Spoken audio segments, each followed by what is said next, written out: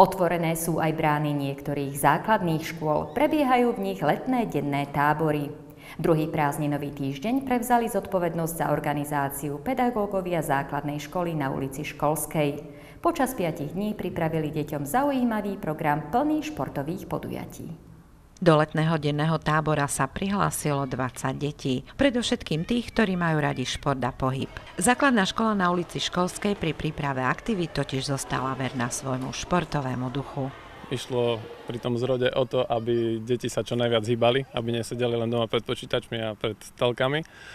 A máme to rozdelené na také dve časti, do obedňajšiu, po obedňajšiu, do obedu máme plavareň, dve hodiny a potom máme obed okolo tej jednej a po obednejší program striedame každý deň inú športovú hru, či už netradičné alebo tradičné.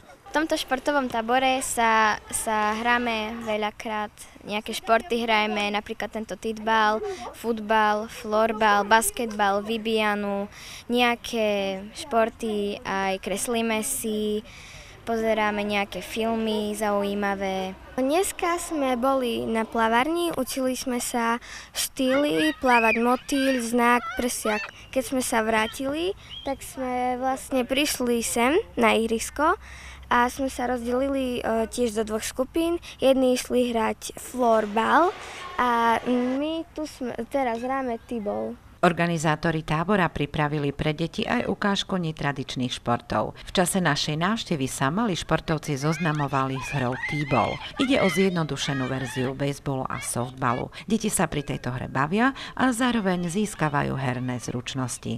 T-ball je hlavne kolektívny šport.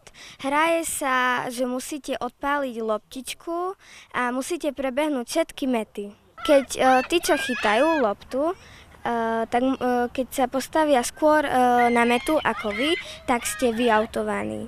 Hra sa skladá z 5 až 8 palkárov a maximálne 5 uh, chytači, čo chytajú loptu. Palkári majú prílby a tí, čo chytajú loptu, majú rukavice.